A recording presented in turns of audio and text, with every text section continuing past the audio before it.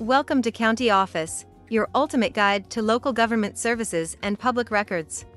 Let's get started. What are the current Army Corps of Engineers water levels?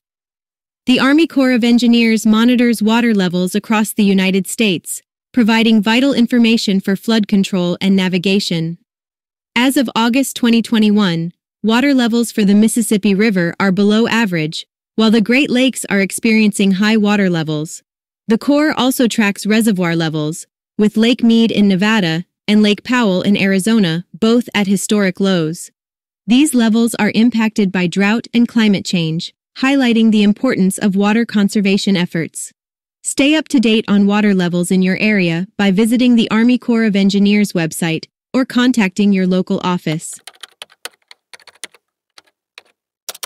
To learn more, check out these links which you can click in the description below, and feel free to comment your questions. We're here to help. Thanks for tuning in to our video. Please like and subscribe, and leave a comment below. See you in the next video.